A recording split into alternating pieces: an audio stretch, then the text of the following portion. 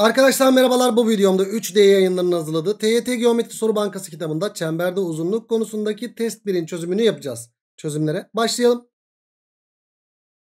Yukarıda verilere göre ADX kaçtır diye soruluyor. Arkadaşlar önce 60 var burada da 105 var. Parçalayacaksak 105 parçalanır ya da ek çizim yapacaksak nereden yapılıyordu ek çizim? Çemberin merkezinden. Bizim olmazsa olmazımız yarı çap. Hocam merkez kiriş çektik yapsak e hocam 105'i kullanamam. O yüzden yarı çapı çizelim şöyle. Ama yarıçap çizmeyle kalmasın. Bu da yarıçap, bu da yarıçap, bu da yarıçap. Eşitliğini mutlaka mutlaka gösterin. E hocam burası 60 ise burası da 60 oldu mu oldu? 60 60 ise buraya da 60 mı kaldı? Evet eşkenar üçgen çıktı.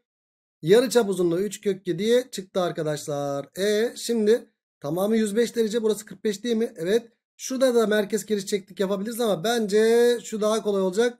Hocam yine yarıçap çizecek olursak bakın x kenarlık çıktı yine. 45 ise burası da 45 oldu. E 45 45 90 üçgeni e ne olacaktır? 3 kök 2 3 kök 2 ise x de ne olacaktır? 3 kök 2'nin kök 2 katına eşit olacaktır. Yani burası 2 olduğundan 3 kere 2 kaç yapıyor? 6 yaptı cevabımız. Cevap Edremit. Yukarıdaki verilere göre BHX nedir diye soruluyor. Çeyrek çember verilmiş. Çembere tamamlamaya gerek olmadığını her zaman söylüyorum. Çeyrek çember verilmişse çözüm için yeterlidir. %99 ihtimaliyle. Ne yapacağız? Hocam x'e ait bir dik üçgen oluşturacağız. En etkili silahımız neydi? Yarı çap. Al sana yarıçap. Yarıçapı çizince yarıçap eşitliğini göster. Yarıçap kaç? 10. Aa hocam burası da 10. 6 10. Ne üçgeni? 6 8 10 üçgeninden cevabımız kaç çıkar o zaman? 8 çıkar. Cevap Balıkesir. Ahmet bir cetvelin uzunluğunu bulmak için önce pergeli cetvelin boyu kadar açılıyor. Evet pergeli cetvelin boyu kadar açmış. Daha sonra ABCD karesinin AD kenarı üzerine pergelin sivri ucunu batırarak bir çember yayı çiziyor. Ve şuradaki ifadeler oluşmuş. Şöyle bir çember yayı çizmiş arkadaşlar. Bizim açtığı açıklık bu kadar değil mi? Yani açtığı açıklık bu açıklıktan bir pergelle bir daire çiziyor. Yani bu yarı çap değil mi? Evet bizim en etkili silahımız neydi? Ve bu neydi arkadaşlar? Kare miydi? Evet pergelin sivri ucunu atarak bir çember. Bu çember yayı AB kenarını iki parçaya bölünüyor. Şuradaki kare miydi arkadaşlar? ABCD ona bir bakmak lazım. Soruyu bir daha okumak lazım. Daha sonra ABCD karesinin. Evet şu kare ise o zaman bir kenar 24. Hocam burası da 24. Burası R ise burası 24 eksi R midir? Evet. En etkili silahımız neydi? Yarıçap. Al sana yarıçap. Çizdik olay bitti. R burası Pisagor. Yapalım bakalım. R kare eşittir. 24 eksi R'nin karesi artı 12'nin karesi diyeceğiz. İşlem işlem işlemle bulacağız. Kardeşim hala işlem yapıyorsun. 24'ün karesiyle mi uğraşacaksın? Boş ver ya. R burada varsa yani 12 varsa burada 12 biraz tehlikeli. Hisset kardeşim. Ya 5 12 13'tür ya 9 12 15'tir ya da 12 16 20'dir. Hocam 5 12 13 sağlanıyor mu? R yerine 13 yazarsam aa 5 12 13 sağlanmadı. Peki 9 12 15 mi? 15 koyarsam bu R yerine 24'ten 15 çıkınca 9 mu kalıyor? Evet. R buradan kaç oldu o zaman? 15 oldu. Zaten R dediğimiz cetvelin açıklığı değil mi arkadaşlar? Yani cevap Akçay. Şekil 1'deki 6 cm yarı çaplı çember ok yönünde AB üzerinde katlanarak şekil 2. Şekil 2 ok yönünde CD üzerinde katlanarak şekil 3 elde ediliyor. Evet bu şekilde şekil 3'ü elde etmişim. Şimdi şekil 3'e gelirim. Şurada bir yorum yapayım isterseniz arkadaşlar. Ben bunu böyle katlamışım. Peki katladığımda şöyle katlanmış hali şöyle bir geri açsam. Arkadaşlar bakın şuradaki çizgi ne olacak? Hop buraya gelecek değil mi? Sonra bunu böyle katlayacağım. Bu da buraya gelecek. Peki bu büyük ihtimalle çember nerede arkadaşlar? Çember şunun içerisinde yani şuralarda bir yerlerde. Şurada bir yerde. Niye hocam? Çünkü eğer çemberin merkezi burada olsa, olsaydı bu katlamada ve bu katlamada üst üste olacaktı noktalar değil mi? E şuradaki noktalar K ve T noktaları üst üste olmadığı için e çember merkezi burada olmak zorunda. Peki ne yapacağız hocam burada? Ben bu katlamayı yaptığım zaman şu parçayla şu parçanın eşit olduğunu biliyorum. E o zaman ben buraya A buraya B dersem burası A artı B mi yaptı ve burası 90 derece mi arkadaşlar? Evet. Sonra bir katlama daha yapmışım. Şekil 2 oluşmuş. Şekil 2'de biraz sonra işlem yaparım diye şimdilik burayı yapayım. Şu katlama bu şekilde oldu. Açtığım zaman da bu şekilde olacak. Hocam açtığım zaman da şurası da ne olacak o zaman? Şurası A artı B ise burası da A artı B olacak. A ne oldu? Burası dikkat edin A artı B artı A. Burası da A artı B artı A. Yani yarı çap ne olmak zorunda? Birbirine eşit olmak zorunda. A artı B ile neyi? Şimdi A artı B artı B ile burası da ya da şöyle diyelim. E, burası 2A artı B. Dikkat edin. 2A artı B aynı zamanda bakın şurası 2A artı B. Aynı zamanda neye eşit olacak? Şurası A artı 2B'ye eşit olacak. A artı 2B'ye eşit olacağından dolayı Buradan da A ile B birbirine eşit oldu mu? Oldu. Yani şuradaki parçaların birbirine eşit olduğunu gördük arkadaşlar. Devam edelim. Çemberin merkezi burada. Şunlar da birbirine eşit dedik. Peki sonrasında hocam burası şey mi peki? Şu katlamayı açalım bakalım. Şu katlamayı açtığımız zaman şöyle. Hocam bu katlamayı açtığımız zaman böyle bir daire oldu. Şu katlamayı açtık ve bu katlamayı açtık. Sonra tam çemberin merkezinde bunun üzerinde mi acaba? Bir de o var değil mi? Hadi onu da ispatlayalım bakalım. Arkadaşlar şimdi bir katlama yapmışım. Bakın dikkat edin. Şurada bir katlama yapmışım. Nerede yapmışım? Şurada. Şurada bir katlama yapmışım ve şu şekil oluşmuş. Sonra ben buradaki şuradaki şekle dikkat edin arkadaşlar. Bu katlamayı açmadan bir daire oluştursam e, bu kesmenin dairesiyle buradaki kesmenin dairesi aynı daire olmaz mı? Olur. O zaman şöyle bir daire çiziyorum arkadaşlar. Hatta şunu kopyalayayım. Ctrl C, Ctrl V ve şöyle yapıştırayım. Niye yapıştırdım? Çünkü şu mavi katmanlığı da bir daire oluşturduğum zaman aynı daire olmaz mı? İlk baştaki daireye eşit olmaz mı arkadaşlar? Olur. E bunun da yarıçapı 6, bunun da yarıçapı 6 oldu. O zaman çemberin merkezi şurası olacak ve çemberin merkezi burası ise eğer burada ben bu merkezlerde kesim noktalarına yarıçap en güzel çizim yarıçap çizmek, yarıçap, yarıçap, yarıçapları böyle çizersem o zaman ne oldu arkadaşlar? Bu yarıçap uzunluğu 6. Bu yarıçap uzunluğu 6. Burası da 6. Burası da 6. Ne çıktı arkadaşlar burada? Eşkenar dörtgen. Eşkenar dörtgende köşegenler nasıl kesişir arkadaşım? 90 derece kesişir mi? Kesişir. E hatta şunlar da birbirine eşit oldu mu? Oldu. Şunlar da birbirine eşit oldu mu? Oldu. Tam bu kesim noktası tam ortada bir yerde olacak arkadaşlar. E o zaman burada da e, buradaki A ve B birbirine eşit dediysek o zaman o zaman burası da 2 birim burası da 2 birim olmak zorunda ve köşegenler dik kestiğinden dolayı burası 90 derece diyebiliriz. Ya ne uzattın hocam? Gerek var mı? Belli zaten 2 birim 2 birim olacağı da diyebilirsiniz. E buraya niye 2 birim 2 birim dedim ben bu arada? Kafadan yaptım çünkü. niye? Yarı çapı 6 birim değil miydi? Evet. E bizim çap ne? 12 değil mi? Evet. E çap 12 olduğu için arkadaşlar şuraları da eşit demiştik biraz önce. Bakın şu parça şu parça şu parça birbirine eşit. 12'yi 3'e böldüğümüzde her bir parça 4 4. E 4 ise bunlar da birbirine eşitse buraları da 2 birim 2 birim oldu mu? Oldu. Şurası da 2 birim burası da 2 birim. Şimdi ne yapacağız? Katlamayı açtık. Bizden bu doğru isteniyor. Ama açtık da bu doğruyu da aç bari. Değil mi? Hatta şuranın da sen kaç birim olduğunu biliyorsun? 4 birim olduğunu biliyorsun. Sen bu doğrunun katlamasını aldığın zaman o katlama da şu şekilde olmayacak mı arkadaşlar? Hop şöyle. Hocam bu buraya geldi. İspatını yapmıştık biraz önce. Şunların da birbirine eşitliğini. Hocam şurası ve şurası. E 2 ise burası da 2 oldu. E tamamı 4'tü bunun. Buraya da 2 kaldı mı? Kaldı. E bizim en etkili silahımız neydi? Yarı çap. Al sana yarı çap. Yarı çapı çizince olay bitti. Burası da 6 mı 6? Pisagor bağıntısı.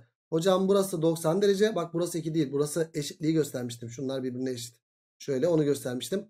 Arkadaşlar şuraya x dersek. Burası da x. Bizden ne isteniyor? MN uzunluğu. Yani x, x, 2x isteniyor. Pisagor bağıntısında burası kaç? 4. Burası kaç? 6. Burası da x. 6'nın karesi eşittir. 4'ün karesi artı x'in karesi olduğundan 36'dan 16 çıktı. x buradan kök 20'ye eşit oldu. Yani x 2 kök 5 eşit oldu. Ama mn uzunluğu 2x değil mi arkadaşlar? Evet. O zaman 2 çarpı 2 kök 5'ten cevap ne olacaktır? 4 kök 5 olacaktır. Evet. Sarsıcı bir soru. Evet gençler hoş geldiniz. Nasılsınız? İyi misiniz? Cevap Ceyhan. Yukarıda verilen açı ölçerde kırmızı çizginin uzunluğu 8 birim. Arkadaşlar burası 8 birimmiş. Açı ölçerde 20 derece ile 80 derece arası. Hop şurası kaç derece? 10, 20, 30, 40, 50, 60 ya da 80'den 20 çıkarsana kardeşim 60. E hocam burası verilmiş. Çemberin merkezinde burası verilmiş. Yarım çember yaylı diyor ya burada arkadaşlar. Yarım çember yayı ya burası. Merkezde burasıysa hop en güzel çizim yarıçap. Al sana yarıçap al sana yarıçap. Merkez açımız 60 ise burası da 60. E hocam bu da yarıçap bu da yarıçapsa ne oluştu burada 60 ise burası Bunlar da 60'ar derece oldu. Yani eşkenar çıktı. Yani yarıçap 8 çıktı. Şimdi arkadaşlar 140 ile 50 arası kaç derece? 90 derece değil mi? Şimdi oraya yoğunlaşalım. Hocam burası 90. En etkili silahımız yarıçap. Al sana yarıçap. Al sana yarıçap. Yarıçap uzunluğunda kaç bulmuştuk? 8. Hocam burası da 8. Burası da 8. E bu yayı da 90 derece bulduysak burası da 90 derece çıktı mı? Çıktı. 8 8 ise şu uzunluk kaç olacaktır arkadaşlar? 8 kök 2 olacaktır. Yani cevap Ceyhan. Marangoz Nadir Usta çeyrek daire biçimindeki bir keresteyi aşağıdaki şekildeki gibi yarı çapa dik olacak şekilde kesiyor. Evet yarı çapa dik olacak şekilde şöyle şöyle kesmiş. Eyvallah burayı 2 burayı 6 demiş.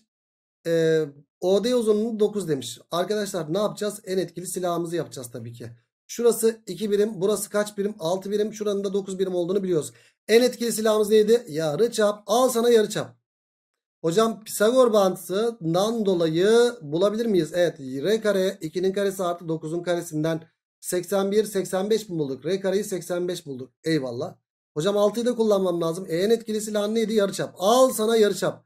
Hocam burası da R. E buraya A dersek Pisagor. R kare buradan neye eşit? 6'nın karesi artı A kare eşit olduğundan dolayı. Hocam R kareyi zaten 85 bulmuştuk. 85 eşit 36 artı A kareden dolayı. Hop A kare eşittir 49'dan. A'yı da buradan kaç bulduk? 7 bulduk. A 7 çıktı arkadaşlar.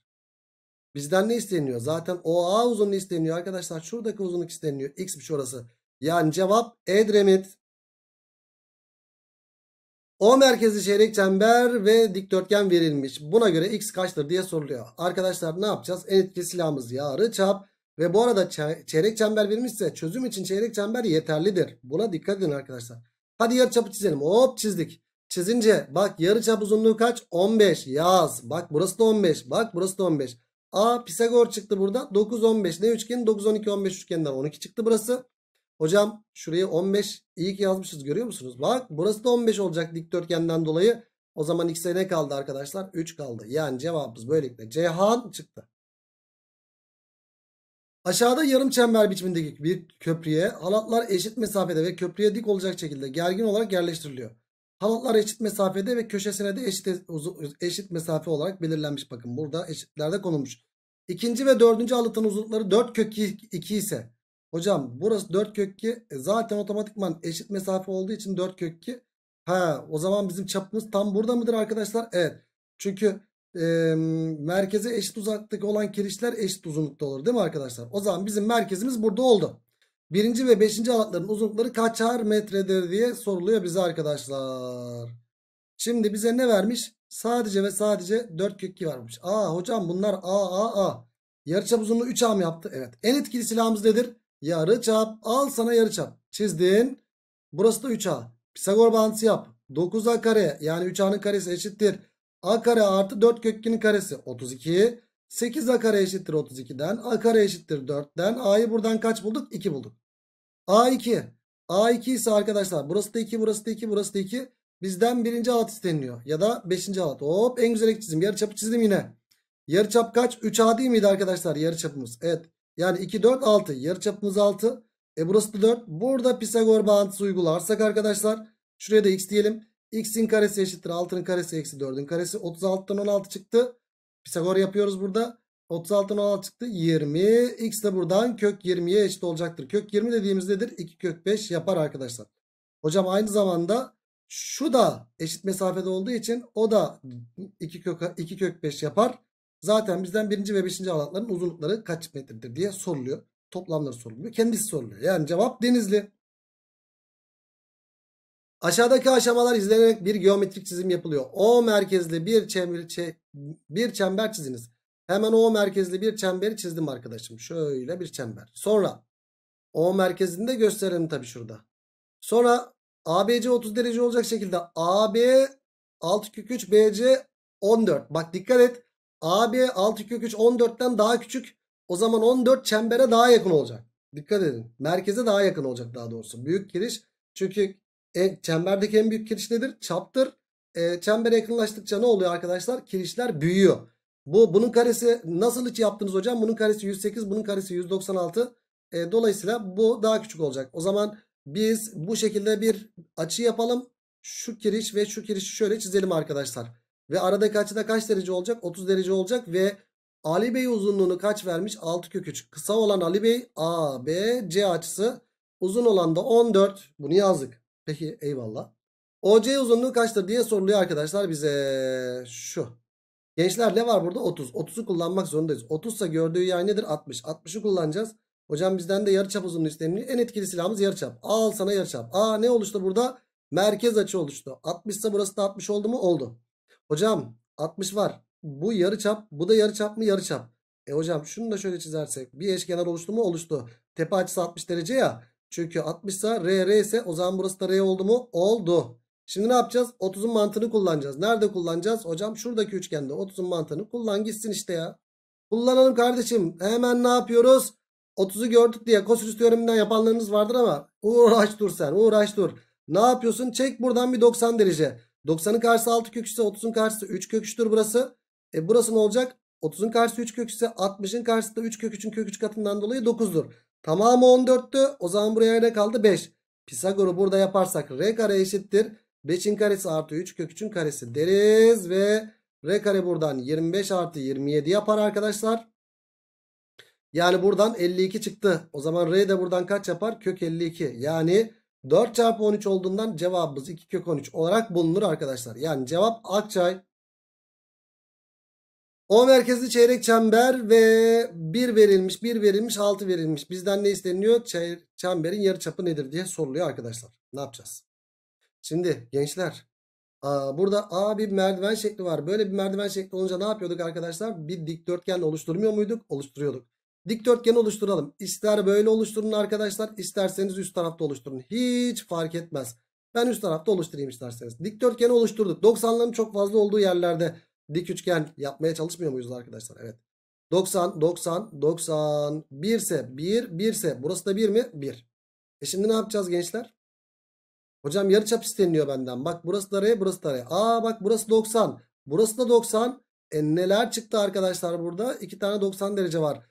Ortak hipotenüsü var mı? Var. Hop bak burası ortak hipotenüs. Yani ne olacak arkadaşlar burada? Pisagor bağıntısından burası R kök 2 çıkar. E buradaki Pisagor bağıntısından da R kök 2'nin karesi eşittir. 1'in karesi artı 7'nin karesi deriz. Buradan 2R kare eşittir 1 artı 49 çıkar. 50 çıkar. R kare buradan 25 çıkar. R de buradan ne çıkar arkadaşlar? 5 olarak bulunur. Çemberin yarıçapı nedir diye soruluyor. Dolayısıyla cevabımız Akçay yaptı. Aşağıda buharla çalışan lokomotifin bir kesiti modellenmiştir. Şekilde merkezi O olan sabit bir disk veriliyor. Bu disk dönmeye başladığında KM demir çubuğu hareket ediyor. Bu hareket sırasında O noktası ile M noktası arasındaki en az 140 en çok 210 santimetre oluyormuş. KM demir çubuğunun boyu nedir diye soruluyor. Arkadaşlar piston geriye doğru giderken bak piston geriye doğru giderken hocam şu buraya geldiğinde K noktası buraya mı gelecek? Biraz daha geriye gitse şuraya mı gelecek? Biraz daha geriye gitse şuraya mı gelecek? Yani sonra ileri gitse hocam ileri doğru gitse şöyle şuraya mı gelecek? Biraz daha ileri gitse şuraya mı gelecek? Böyle ne oluyor arkadaşlar? Şurada K noktaları bizim dairesel bir hareket yapıyor burada. Şimdi işte bu hareketlerden bizden diyor ki e, M noktasının çubuğa en az ve en çok uzunluğundan bahsediyor. KM demir çubuğunun boyu nedir diye soruluyor bize arkadaşlar. Şimdi şurada bir ek bir bilgi vereyim. Bir çembere bir noktanın bir çembere en kısa uzaklığı bulunurken hocam merkezden geçirirsin bunu. En kısası burası. En fazlası bulunursa da yine merkezden geçirsin. En fazlası da burası olur arkadaşlar. Şimdi o zaman ben şurada çubuğumu en geriye doğru çekeyim. En geriye doğru çektiğim zaman şuraya geldi ya. Bakın bizim çubuğun uzunluğu tam buraya denk gelecek arkadaşlar. Değil mi? Çubuğun uzunluğu tam buraya denk gelecek. Yok. Şuradan itibaren en geride olsun. Çubuğun uzunluğu buraya denk gelecek. O zaman çubuğun uzunluğuna da ben Ç diyecek olursam buradaki en fazla uzaklığı mı? En geriye çektiğim zaman merkeze en fazla uzaklığından bahsederim değil mi? Yani şunu şöyle uzattığım zaman bunun yarıçapını vermiş mi arkadaşlar? Vermemiş. O zaman çubuk artı R şöyle diyecek olursak çubuk artı R en fazla uzaklık olacaktır. Bakın M noktası buradayken çubuğun uzunluğu şu kırmızı çizgi. Çubuk artı R ne eşit oldu arkadaşlar? 210'a eşit oldu. Peki çubuğu ben şuraya getirirsem en uca getirirsem yani en şuraya bir yere getirirsem şöyle şuralarda bir yerde olsun arkadaşlar. Biraz üstten göstereyim ki çizim belli olsun. Hocam şöyle olduğunda en az uzaklık olur değil mi merkeze o zaman? O zaman şu K noktası buraya geldiğinde olacaktır. E buraya baktığımızda da burası bizim çubuğun uzunluğu değil mi arkadaşlar? Çubuğun uzunluğu burası da R olduğuna göre çubuk eksi 2R bize yok çubuk eksi R şu çubuğun e, merkezimiz burası olacak ya arkadaşlar. Merkezin şu M'nin merkeze olan en kısa uzaklığı burası oluyor. O da nedir? Çubuğun uzunluğu tamamıysa buraya kadarsa o zaman burası da çubuk eksi R mi oldu arkadaşlar? Evet. Çubuk eksi R de neye eşit verilmiş? 140'a eşit verilmiş. E ben burada taraf tarafa toplarsam 2 çubuk kaç yaptı o zaman? 200, e, 350 mi yaptı? Evet. 350'yi de 2'ye böldüğüm zaman bir çubuk ne yapıyor? 350'nin yarısı yapıyor. Yani 175 yapar arkadaşlar cevabımız. Cevap Edremit oldu böylelikle.